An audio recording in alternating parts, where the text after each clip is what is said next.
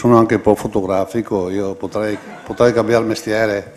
Comunque un saluto a tutti, ben arrivati, penso che, saranno, che qui a Milano avremo un grande successo. Io credo che dobbiamo andare avanti con entusiasmo, credo che siamo partiti col piede giusto.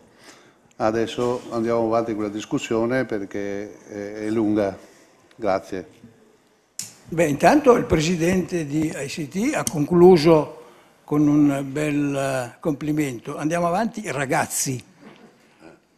Io ci aggiungo andiamo avanti ragazze, quindi ragazzi e ragazze nella concia sicuramente assicureranno un grande futuro a questo settore che arriva dal passato, arriva dalla storia dell'uomo e quindi, come ho anche scritto nell'intervento pubblicato nel Directory, e quindi è un mestiere che continuerà a prescindere da quello che animalisti, ambientalisti potranno pensare, potranno credere.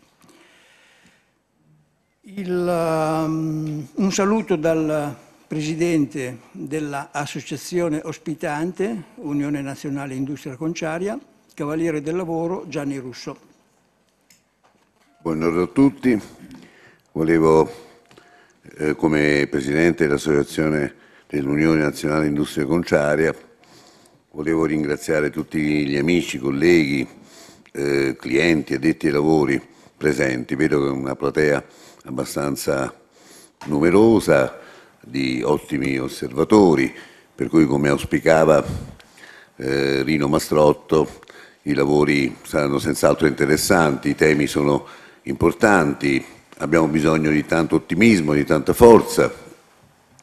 E questo secondo congresso mondiale della pelle a Milano capita proprio in occasione della, dell'apertura domani di Linea Pelle, quindi invito tutti a visitare Linea Pelle che, che per noi rappresenta veramente la, la più importante fiera al mondo dove si vedranno veramente i migliori prodotti di pelli al mondo. Poi c'è anche Expo ovviamente che è un momento anche di attrazione per la città.